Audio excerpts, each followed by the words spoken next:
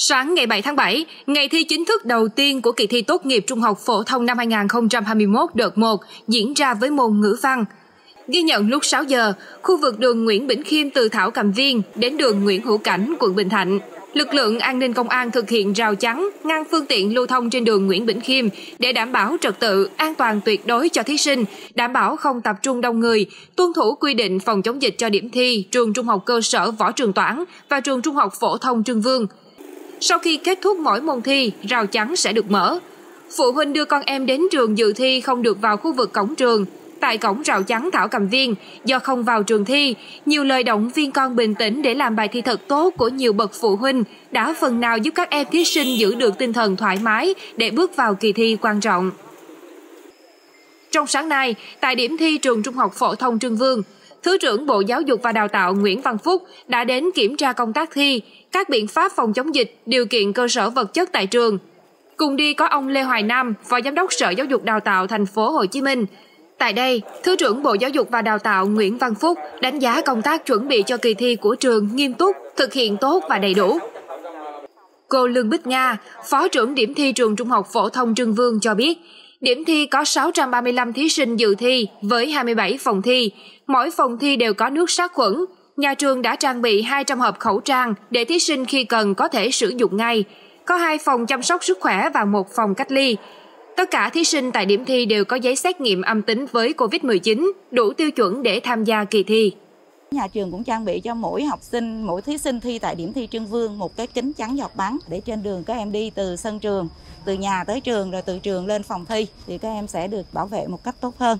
Về vấn đề phân luồng thì đặc thù của trường là sát ngay mặt tiền đường, cho nên nhà trường phân luồng ngay từ cái cổng thứ hai và hướng dẫn học sinh đi theo từng cầu thang, chia theo từng phòng để các em lên và xuống theo cái hướng như vậy. Khi về thì chúng ta cũng đi theo từng phòng để đi về để đảm bảo cái khoảng cách giãn cách.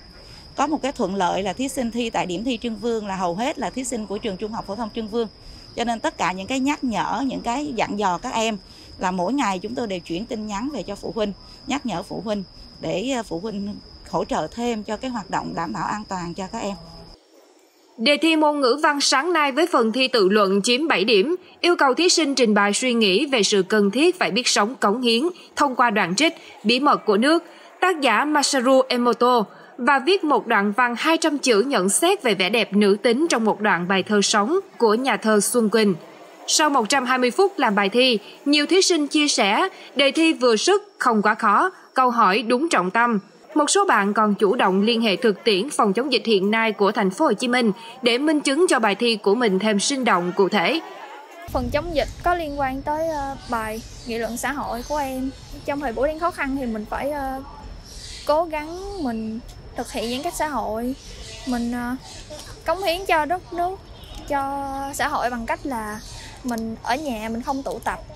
Khi nào cần thì mình mới ra đường. Lúc mà mới phát đề thì em cũng bất ngờ em phải ngồi suy nghĩ một hồi mới ra nhưng mà em cũng làm được. Về cái bài đó cái đề sống thì năm nay yêu cầu là cho một đoạn uh, mấy khổ văn xong rồi sau đó thì yêu cầu là cảm nhận là cái vẻ đẹp nữ tính của thơ trong xuân của thơ xuân quỳnh. Thì em uh, cũng phân tích rồi nhấn mạnh chỗ nào nữ tính với lại chỗ nào nó mới mẻ trong bài thơ. Cái việc nhà trường phát với kính chống giọt bắn với lại sát khuẩn tay với lại phân luồng cho thí sinh thì nó hơi bất tiện nhưng mà nó đảm bảo được an toàn cho tụi em. Nếu mà mình giỏi mình sẽ nhận ra được cái uh, nữ tính của tác giả. Mọi người chỉ cần làm cái phần cơ bản thôi thì em nghĩ là đủ điểm để uh, tốt nghiệp rồi. Dạ, em thấy đề bình thường dễ làm. Môn toán đó em khá quan trọng nên là em nghĩ là em sẽ cố hết sức để làm được Chiều nay, thí sinh thành phố Hồ Chí Minh tiếp tục dự thi môn toán thời gian 90 phút.